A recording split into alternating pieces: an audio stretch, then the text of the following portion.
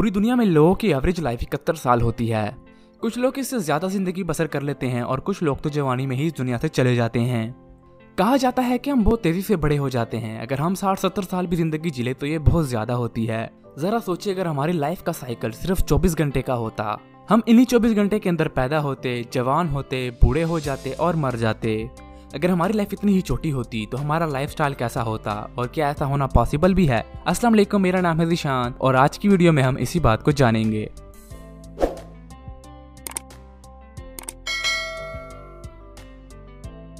जब हम बड़े होते हैं तो हमारी बॉडी के अंदर नए सेल पैदा होते हैं और पुराने सेल मर जाते हैं।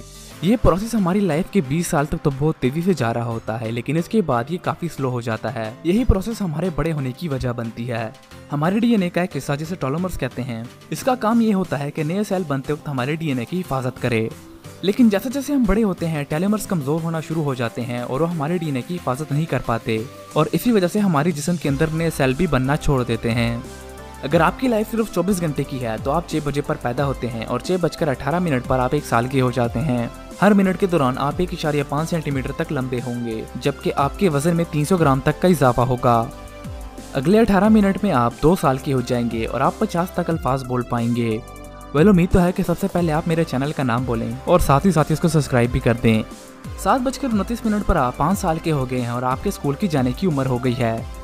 पूरी दुनिया में एक एवरेज इंसान तेरह साल स्कूल में गुजारता है, लेकिन आपको गुजारने हैं सिर्फ़ तीन घंटे और इक्यावन मिनट। ग्यारह बजकर बीस मिनट पर आप अठारह साल के हो गए हैं और अब आपको आईडी कार्ड बनवा लेना चाहिए।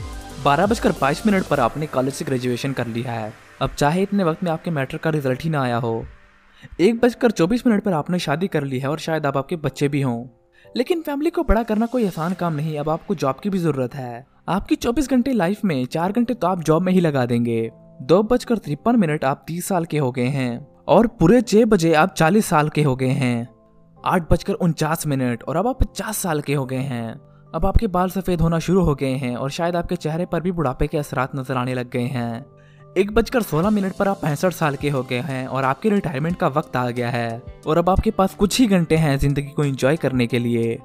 और अब दोबारा फिर से छह बज गए हैं यानी आपके लाइफ के चौबीस घंटे पूरे हो गए हैं। अब आपकी उम्र इक्यासी साल है और आप मर गए हैं। वेल well, थैंकफुली दुनिया में कोई भी एक ऐसी कंडीशन मौजूद नहीं जब आपको 80 साल की लाइफ 24 घंटे में जीनी पड़े। लेकिन इससे हमें एक बात का एहसास ज़रूर होता है कि हमारी लाइफ बहुत ही इंपॉर्टेंट है और हमें इसमें टाइम वेस्ट नहीं करना चाहिए। अब आपकी लाइफ 60 साल की हो 50 साल की हो या इससे भी कम हो आपको अपनी ज़िंदगी में हर घंटे की कदर करनी चाहिए। जब आपकी पूरी लाइफ गुजर जाए तो शायद आपको ऐसा ही लगे कि आपने सिर्फ़ 24 घंटे की ज़िंदगी ही गुजारी है। हमारी लाइफ बहुत तेज़ी से गुजर जाती है और हमें पता ही नहीं चलता। बस यही था आज का हमारा वीडियो उम्मीद आपको पसंद आया होगा। अगर आपको ये वीडियो पसंद आया है तो इस वीडियो को लाइक कर दें और मजीद ऐसी वीडियो के लिए मेरे चैनल को सब्सक्राइब करना मत भूलिएगा। अल्लाह हाफिज़।